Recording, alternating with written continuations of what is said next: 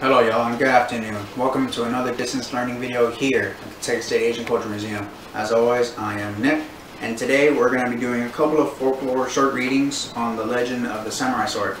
This is in relation to the samurai sword katana video that I did a while back. So it would be nice to see how the legend and, and the origins of the samurai sword came about. So without further ado, here's the legend of Amakuni, the father of the samurai sword.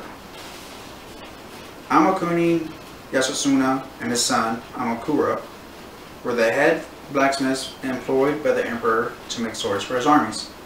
One day, so this legend of the samurai sword history goes, after returning from battle, the emperor and his warriors passed by Amakuni's forge without so much as a word, instead of greeting them warmly as they usually did.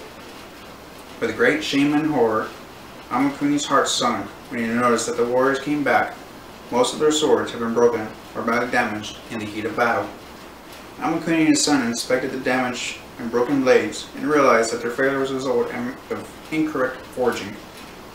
Vowing then and there to create the perfect sword and win back the Emperor's lost favor, Amakuni and his son locked themselves in the forge and prayed furiously to the Shinto gods for inspiration. On the seventh night, the divine came to both of them in a dream, a glowing image of a single-edged, slightly curved blade. As soon as the first rays of the sun infiltrated the forge, each knowing without a word exactly what they must do, they set about creating the war sword revealed to them by Kami. When Amakuni first presented his divine-inspired sword to the emperor, the other swordsmiths thought him quite mad. But he persisted, further refining the methods he had developed until finally, when the warriors returned from their battle the following year, not a single sword was broken. The emperor came up to the smith, and as he passed, he said with a smile, You are an expert sword maker. None of the swords you made failed in battle. Amakuni had won back the emperor's favor and better died a happy and contented old man. The next story is called The Legendary Masamune. Masamune, also known as Goro Nairu, was believed to have hailed from Sagami province and is credited with creating the Soshu tradition of sword making, which involved creating a unique hamon temper line.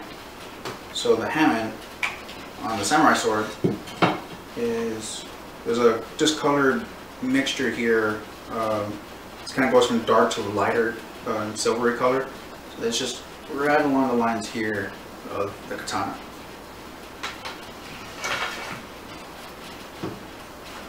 Government uh, unique temp unique hamon temper line of martensitic crystals embedded in pearlite matrix.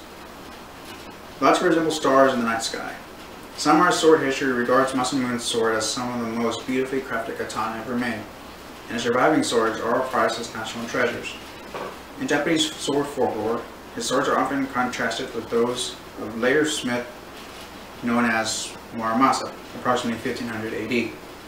The Muramasa's swords being regarded as violent, brutish, and evil, while the swords of Masamune were considered to be deeply spiritual, pure, and benevolent.